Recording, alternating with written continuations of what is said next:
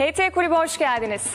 İş, sanat, siyaset ve cemiyet dünyasının temsilcilerini ağırladığımız ekranların en kaliteli Cemiyet Haber programıyla bir kez daha karşınızdayız.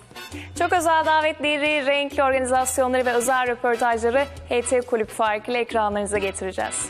Programımıza tatilin başkenti Bodrum'da moda ve sanat tutkunu ünlü isimleri buluşturan iki ayrı etkinliğin ayrıntılarıyla başlıyoruz.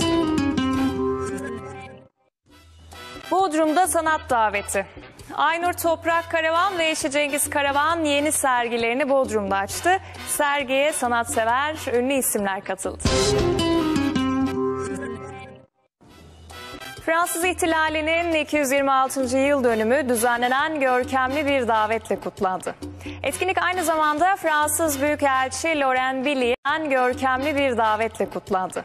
Etkinlik aynı zamanda Fransız Büyükelçi Laurent Billy'e veda davetiydi. Bu anlamlı davetin ayrıntılarıyla programımız devam ediyor. Bu yıl 64. kez düzenlenen Başbakanlık Kupası koşusu büyük bir çekişmeye sahne oldu.